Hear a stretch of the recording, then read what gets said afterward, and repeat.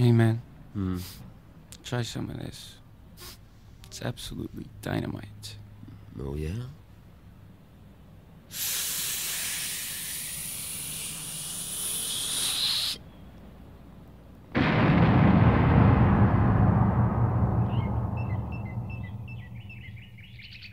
A child's garden of grass. Many people have smoked marijuana. Many have seen marijuana, but very few people have ever heard marijuana. The history of marijuana. Marijuana was first discovered in Twin Falls, Idaho in 1907 by a small Polish immigrant by the name of Wayne Krolka. The discovery occurred in early May while Wayne was working late in his study one evening trying to find a shorter route to India.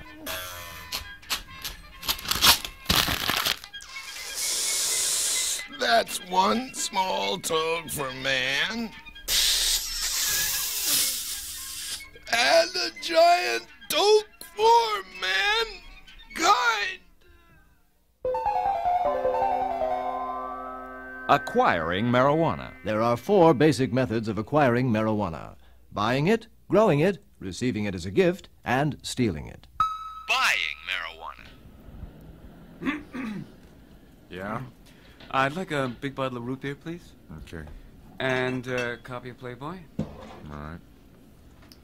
And some uh, pistachio nuts. Yeah. Could I have a cleaner copy of Playboy, please? Huh? Oh, yeah. I'm sorry. It's kids. And a pack of marijuana, please. Oh, Mexican, Vietnamese, or domestic? Um, Mexican. Flip top, flat box, soft pack, or bulk. Take bulk. All right, that comes to, uh, that'll be, uh, 215. 215.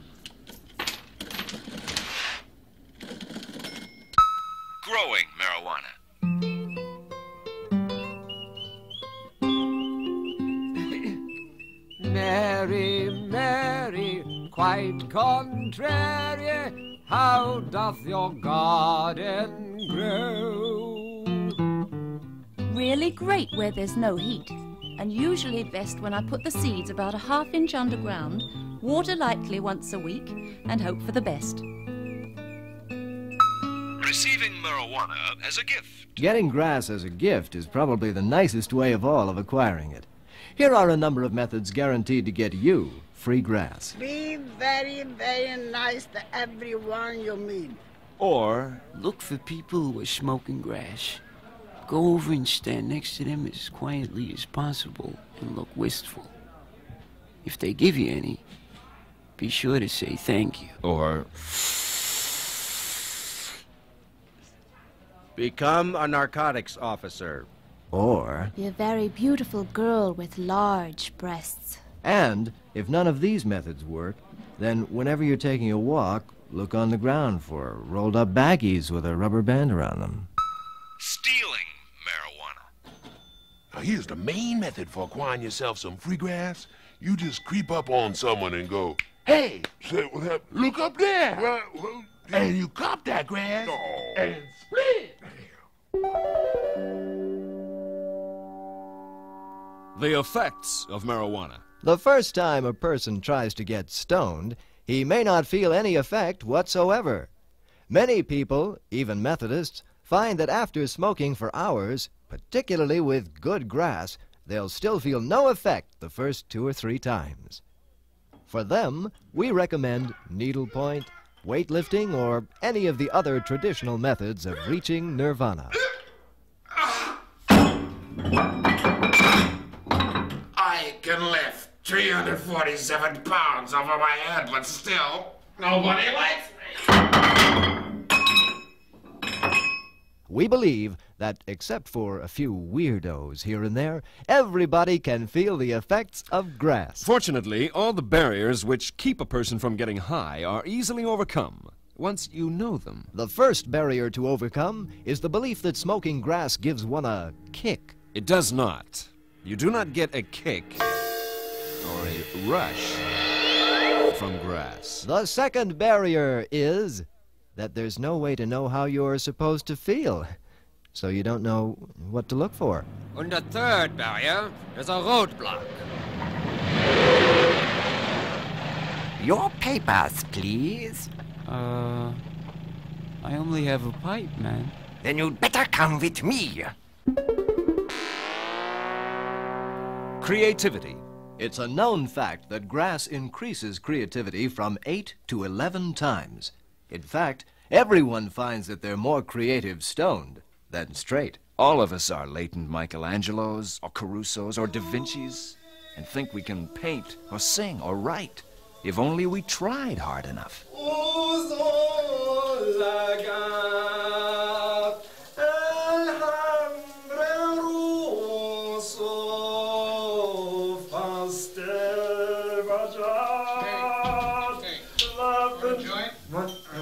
Yeah, thank you very much. Yeah. No, no, take another one. Oh, four out. Yeah. Each. Okay. That's right near the end. Yeah. Okay, It's we'll there, get you some more steam.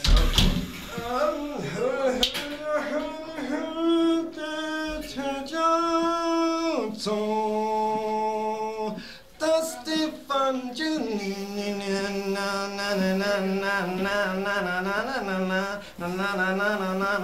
my baby, she's a dirty dog and she know it.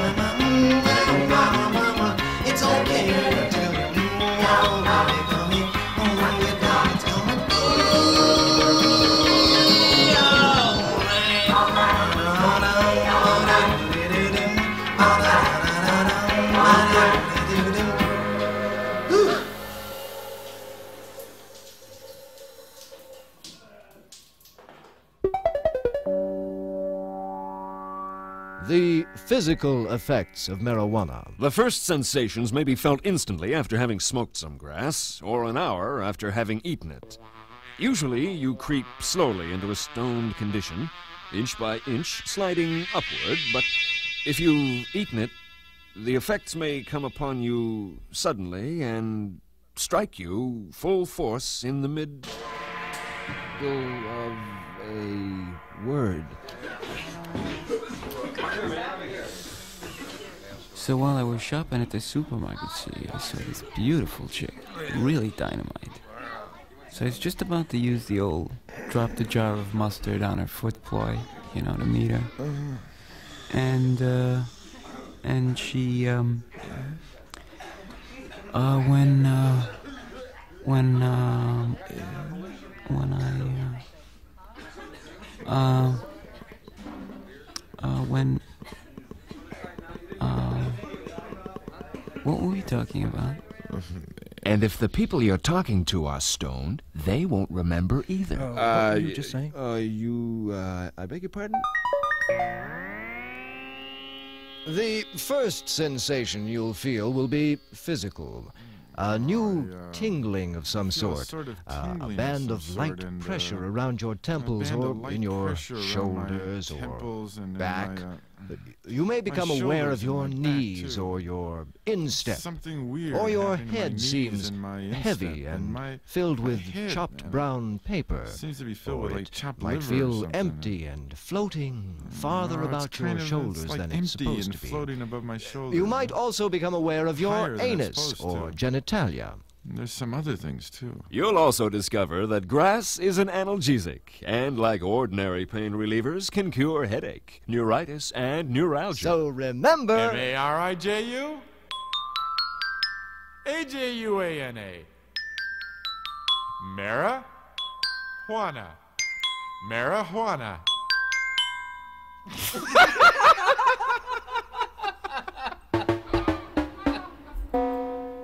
Psychological effects. Sometimes the early psychological changes coincide with the early physical changes experienced while stoned, but the famous mind expansion comes after the famous physical sensations. Grass heightens and distorts. For example, profound revelations. You may think you have profound revelations, only to discover later that they are none too profound. For example, profound revelation number one Survival of the species is everybody's business. Profound revelation number two. No matter how much you may dislike pickles, it is, after all, the only thing you can do with cucumbers. What may cause this magnification of the importance of certain things is that your mind seems to be racing along, and sometimes you find operating a number of levels at at once. simultaneously.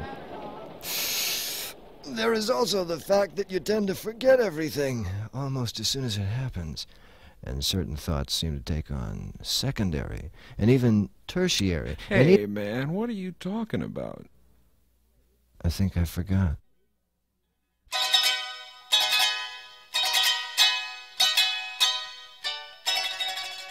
Let's listen in on a quiet scene in The Little House Down the Street. Andy and Virginia are very stoned and are spending the evening listening to their collection of old records and giggling a lot. Let's listen. I'm all discombobulated for shimmel. Are you hungry? Hungry? No, no. Oh, uh, wait a minute now. Did you, did you mean am I hungry for food or am I hungry in the abstract? Like hungry for knowledge or adventure? it's my own humor.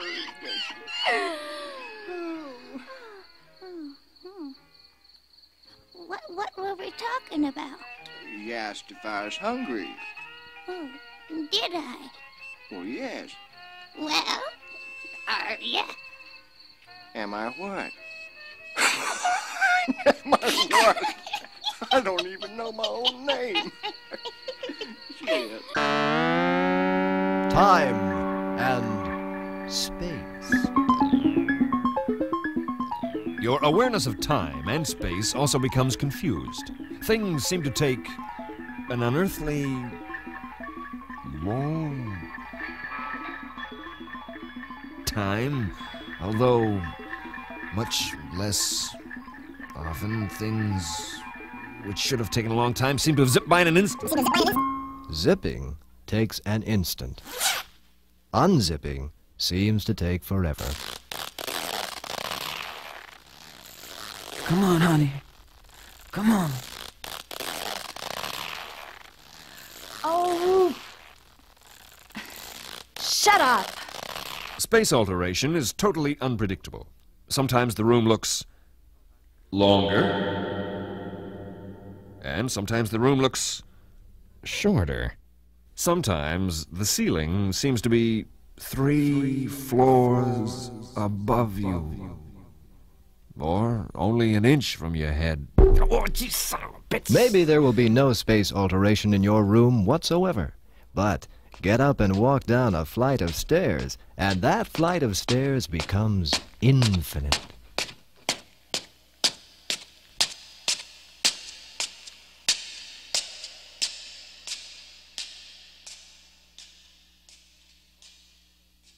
Time disorientation can sometimes cause you needless concern.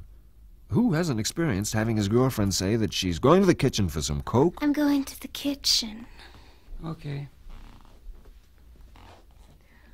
for some coke. and then not see her again for two days. I wonder whatever happened to, uh, what's her name? After thinking she's accidentally locked herself in the refrigerator or been spirited away by Chinese people, you run into the kitchen and yell, What's the matter? Gloria! Gloria, what's the matter? I'm locked in the refrigerator. Only to realize she's been gone less than a minute.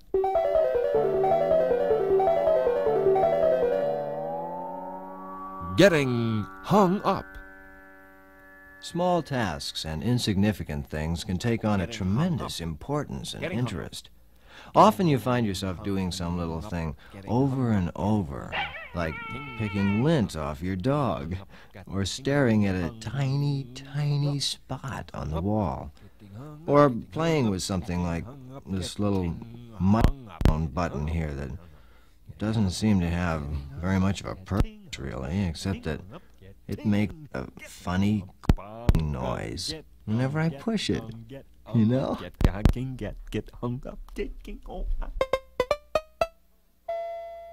Time disorientation and hung upness act together quite often, and you find yourself doing something inane for a long time and thoroughly enjoying it, even though every now and then you think you've been doing it forever. When you're doing something really dumb, like watching Queen for a Day or The Flying Nun on TV, another symptom is revealed. After staring like idiots at the show for 18 minutes, someone will ask, What are we watching this for? Oh, oh, oh, oh, come on, come on, come on. Wait. God, that guy's doing a Berlin ballet. Husky and Rom Wood, 1957. It's rotten, man. It's just terrible. Ron Wood was the monster, You right? put them all down no, there. no. Ron Wood was the actor. That's Oh. ridiculous. Well, change it, change it. Uh, what, um, Wait, didn't you just... hmm? I thought you flicked Hmm. on the... Uh... You know what this is? Oh. what is Uh, guy? no, what is it? Bridge Hoser's Holiday, Sit down, I can't 1933. Who's? Bridge Hoser's Holiday. The? Sterling Lloyd film, one of the old, the first Lloyd. Oh, it's Why don't you flick Really, the uh, the green on so his Uh, you shoes are change it. purple? Yeah, Let change me it. see what else is on, huh? Oh, come on. Oh. You really like this? Look, look, I'll flick. You'll all I'll see what turn and nod at whoever asked the question, then resume your show watching, all together, until the show is concluded. Why? Because a basic truth about being stoned is that everything, even television, is good. You must learn to be careful of this. Funniness. This is one of the most pleasant and exciting psychological changes which occurs. Dick, there's this little spot in your mind which tells you when something is funny, you know? And grass expands that little spot until that little spot takes over. And everything is funny. I mean, everything. Your friend's teeth are a riot. A simple hello brings on storms of laughter. And something which is genuinely funny, like a good joke or a Marx Brothers movie, can turn you into a compulsive maniac, writhing in agony and pleading for help. I know this is true because I just got back from a small town. In fact, the town was so small that when I plugged in my electric shaver, the trolley stopped. My room was so small that the mice were stoop-shouldered. That's why I say, let me entertain you, because that's all I wanna do.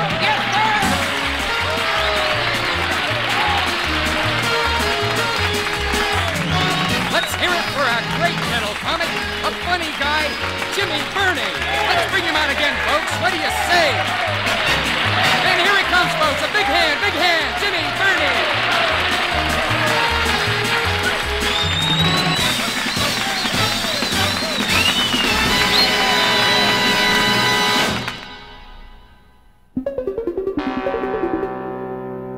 Meditation.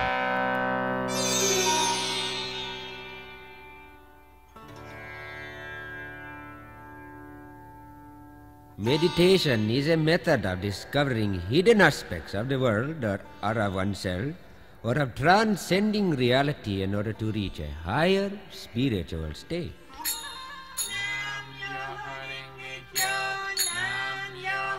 One method of accomplishing this is to concentrate for a long period of time on a specific theme or subject, or on a meaningless word, a mantra.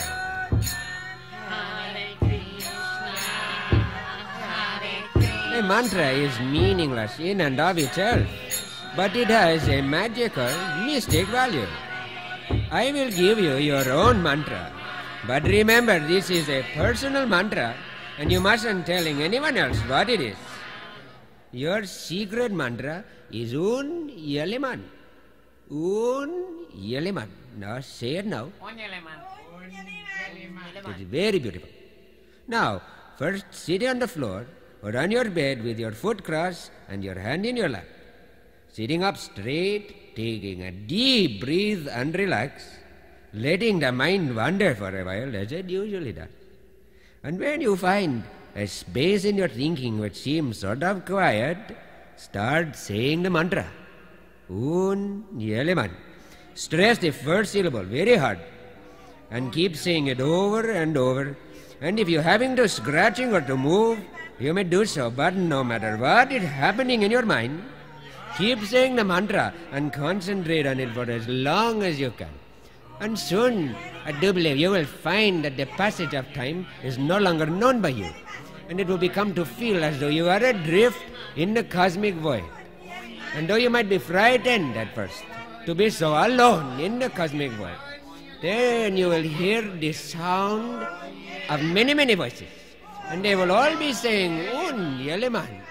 And it will be the sound of the great cosmic brotherhood. It will be all of us. It will be you and you and you and myself. All saying the wonderful word of Un Yeleman, joining together with our hands and taking this wonderful message that we have to not only this place, but into the other place, and soon to the next one. And then after that, we will go to the world, and we will tell the world the secret, wonderful joy of Un Yeleman. And the world will become ours, and we will rule the world under the mystical power of Un Yeleman. I want to hear a Un. Un. Sieg! Sieg! Sieg! Sieg! Sieg!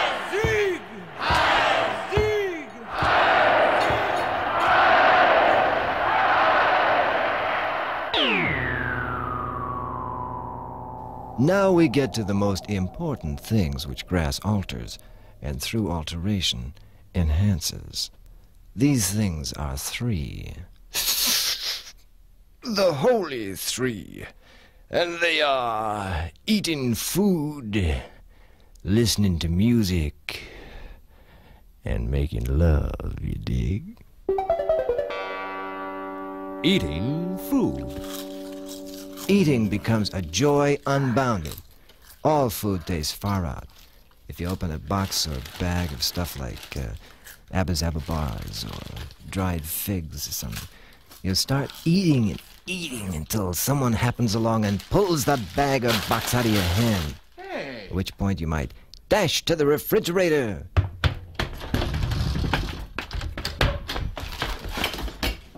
Oh, and start eating lettuce and leftover pieces of fried squash. I looked in the refrigerator! Music. Listening to music while stoned is a whole new world. Most heads consider its importance second only to sex. And grass will change your musical habits for the better, even when you listen later, when you're not stoned.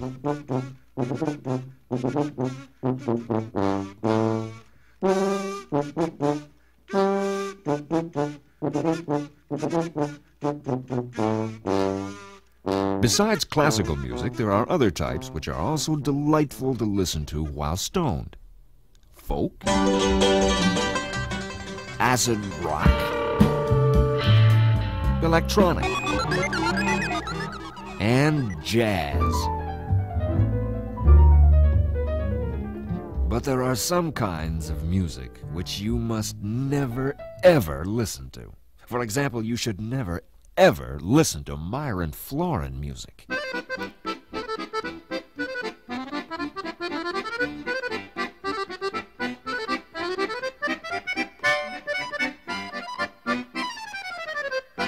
Or Dick Contino music.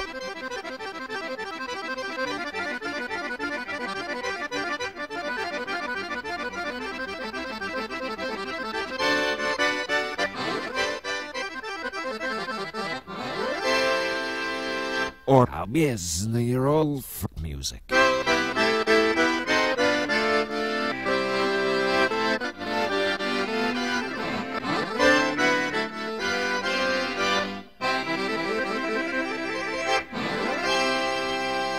Unless, of course, they're all playing together.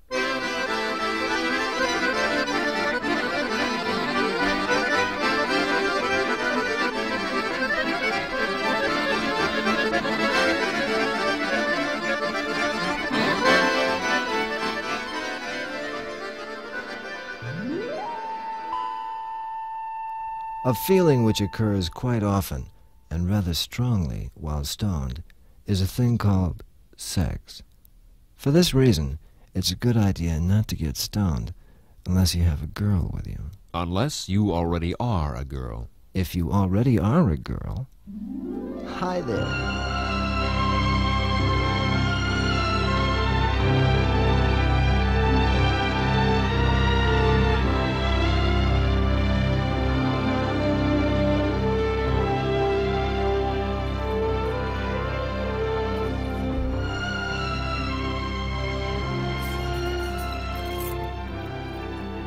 The music in the room, or the murmurings of your friend, are not just an audio delight, but a physical sensation.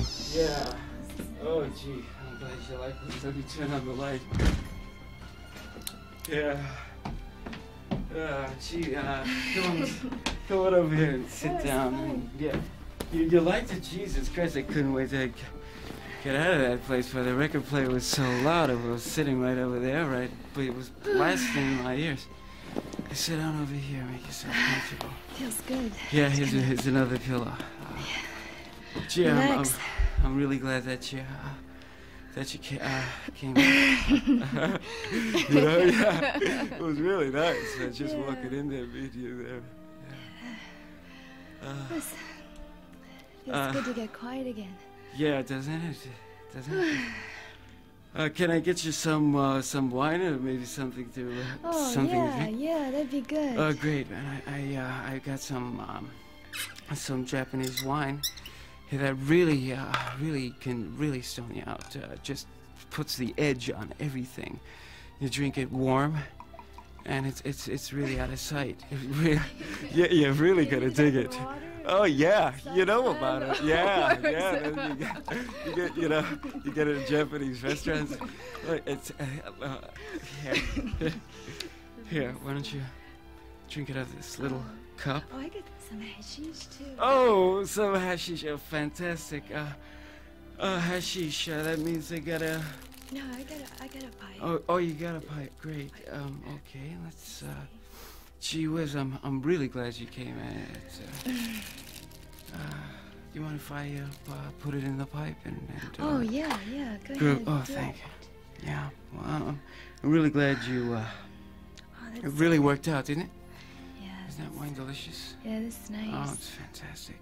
It feels good on your lips. Yeah. oh. Great. Yeah, this is this is good. Great stuff. Oh yeah. Yeah, dynamite. Dynamite stuff. Yeah. Um, yeah, uh did you have your uh, palm read before? Oh, can you read my yeah, palm? yeah, yeah, let me read your palm. Far Oh, out. Far out. You really got a far out lifeline. Really far out lifeline. Oh yeah. Yeah, look at the way it, it travels right up your arm. yeah, yeah. Really, really, really. You're really incredible. Uh, oh, yeah, yeah, yeah. Yeah, yeah. Keeps right on going. Uh, yeah, it does it? It just keeps right on The smell of your friend's hair, or the warm, soothing touch of his or her body, or the curve of a cheekbone. All these separate sensations swirl and mix together into a whole, an avatar, a divinity incarnate. yeah. and the sensual delight of your own body, and the glorious splendor of the setting all fuse together, and you and your friend and the whole world become a chasm of jubilation for minute after minute after minute, until seemingly a millennium has passed and time has lost all claim to meaning. And the multitude and the oh, intermixture of your responses which you experience preparatory to hmm. and during the sex act seem to recur Oh, yeah. again and again and again, Oh, like yeah. the infinite number of images produced when you stand between two hmm. mirrors. And they begin to reproduce themselves and intertwine with one another, growing and building until you experience revelations of feeling uh-huh. So poignant that you can examine each pinpoint of pleasure, and so overpowering that the entirety of it thrusts you into a maelstrom of pure, ecstatic energy. I really dig when you do that. Oh.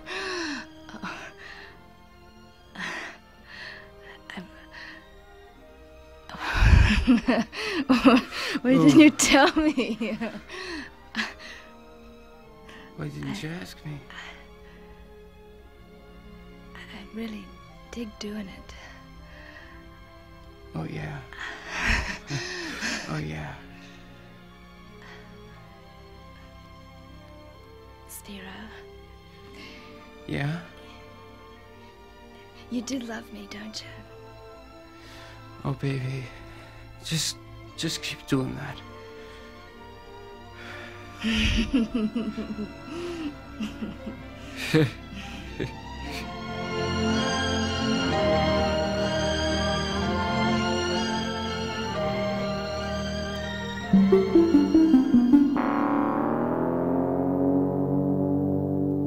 Games. Virtually every mental activity which one engages in when stoned may be lumped into the broad category of games. Partly because everything seems like a game when you're stoned, and partly because the competition and excitement of playing games becomes heightened and validly reflects our entire life struggle. Can you dig it? It is a truism that games which add another dimension to your life, and grass which heightens all feelings, will, when mixed together, create an exciting and enriching experience. You missed that pass, Henderson! What happened? Sorry, Coach. I slipped on the grass. Well, folks, we'll be back in a minute with more excitement right after this word.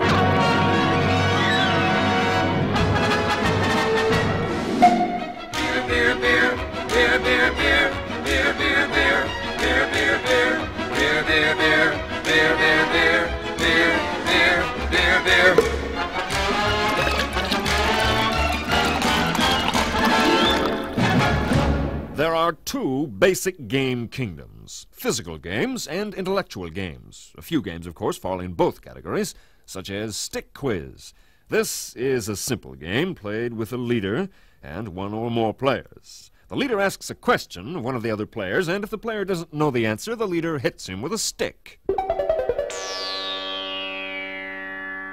Outdoor games.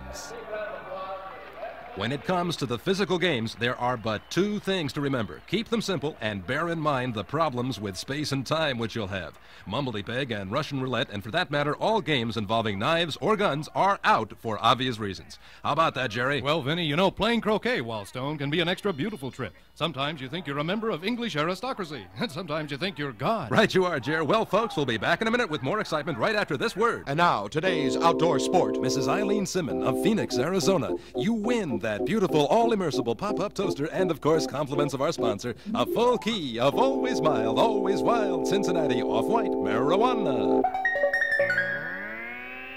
Indoor games.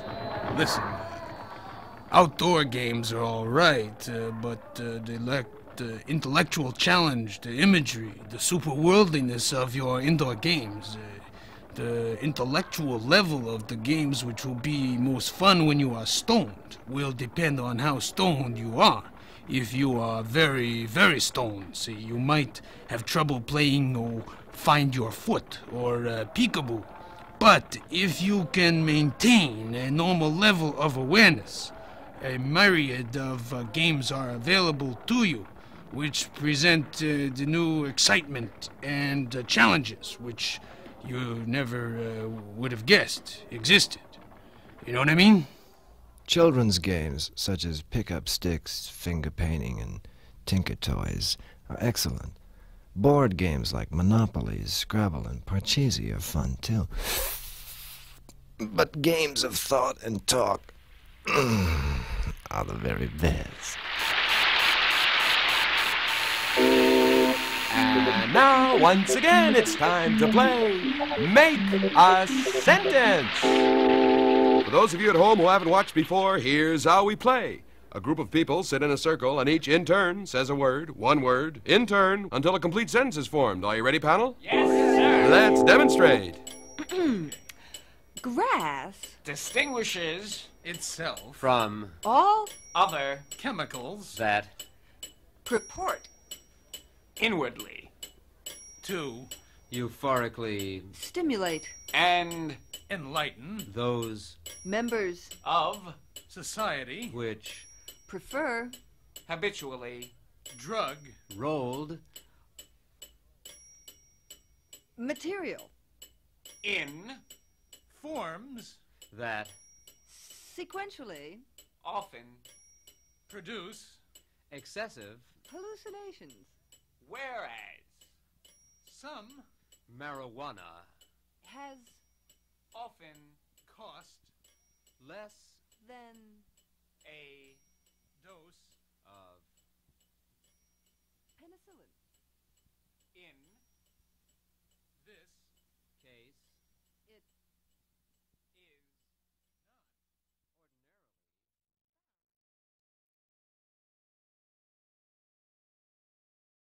I have the report on Operation Intercept, Mr. President. It's a huge success. Uh, then you've stopped the uh, flow of marijuana. Completely. Tourist traffic hasn't moved in days. The President of Mexico is threatening to break off diplomatic relations. Not only that, we seized three joints. Uh, joints. Now, now, let, let- me let me understand that. Now, now, what are joints? Now, you, you gotta be kidding, sir. Jones, I never kid. Uh, I have a wonderful sense of humor, and I tell hilarious jokes, but I never kid. Now, what is a joint? Uh, uh, joint, sir, is a marijuana cigarette. I always thought they were called roofers. Uh, well, sir, here are the three uh, roofers we confiscated. They retail for about 50 cents apiece. Now, Jones, let me say this. If I gave you 50 cents, Uh, sir, I, I brought these uh, roofers with me because the department thought it would be a good idea if you tried one before you drafted your drug bill. We felt that you might have more insight into the problem if you turned on. uh, turned on whom? Uh, well, turning on means to get high. I am hep. Now, let's have one of those joints, baby. Here. Hmm. Well, that's good. Uh, sir, you're not supposed to eat it. You smoke it. I've already swallowed it. Uh, uh, give me another one. All right. Here, now, now, sir, when I light it, you're supposed to inhale like this. And you hold the smoke in your lungs as long as possible. Now, let's go, Jones. I'm, I'm getting up close.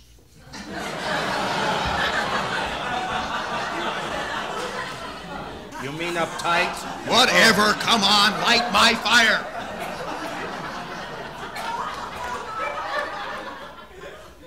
There we go.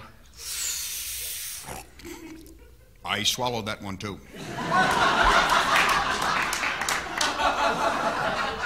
Oh boy, here's a here's another one, sir. It's already lit.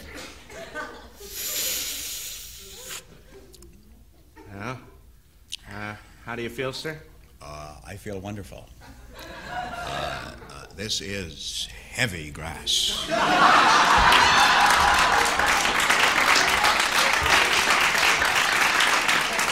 It must be Acapulco Gold.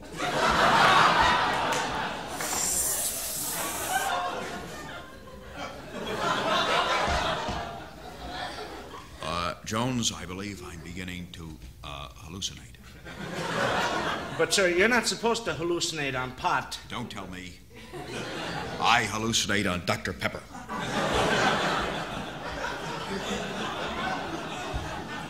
Well, tell me, sir, uh, what, what, what do you see? Well, it's beautiful, Jones. I see spacious skies and fruited plains. and amber waves of grain.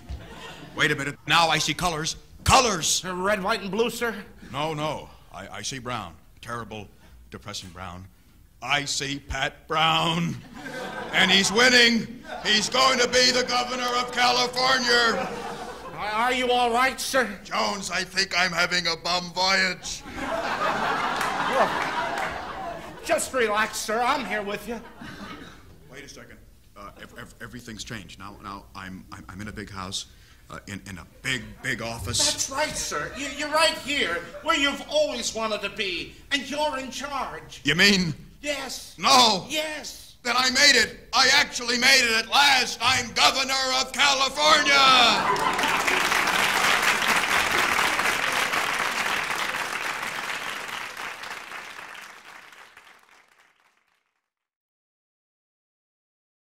We the Republican Party, the Democratic Party, and a new one for 1968, the Pot Party.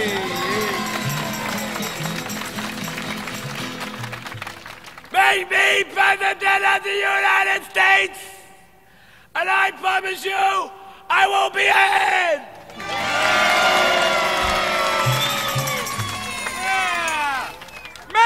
President of the United States, my fellow Americans, and I promise you I shall make the clap a childhood disease.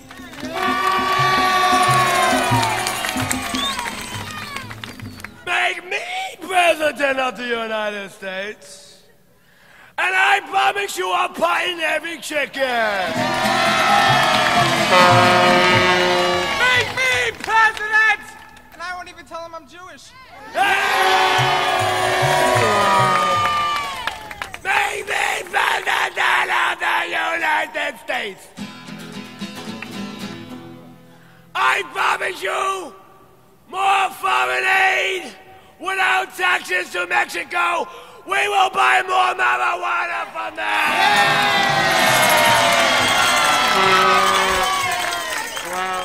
I like marijuana, you like marijuana, we like marijuana too. A maro, marijuana, maro, marijuana, maro, marijuana, maro, marijuana. I like marijuana, but you like marijuana, we like marijuana too. I want to be a hippie, got to get stoned marijuana. A runaway, got to leave home for marijuana. Remember the teeny bob sniffing airplane glue, marijuana. He used to freak out in Central Park maro, marijuana. I wanna get high, but I never know why. Here comes the cop, I got to say goodbye for marijuana.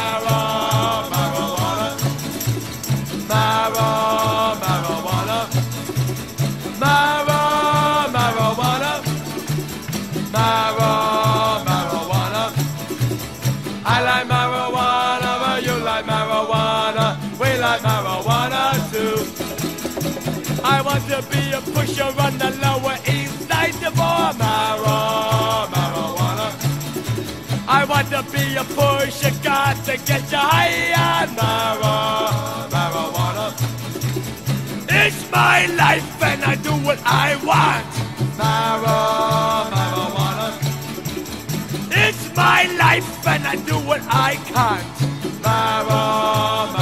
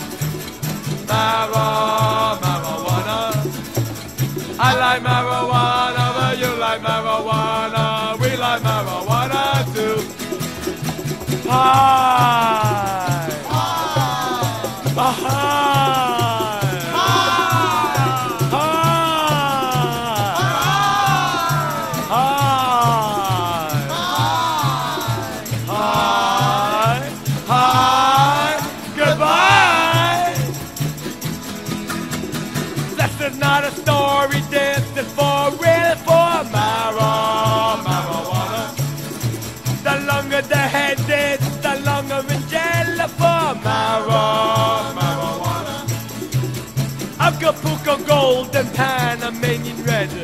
Marijuana. The bigger the bank account, the higher the head. Marijuana. I want to get down and I want to be alone. But here comes my father, the family is moaning. Mara.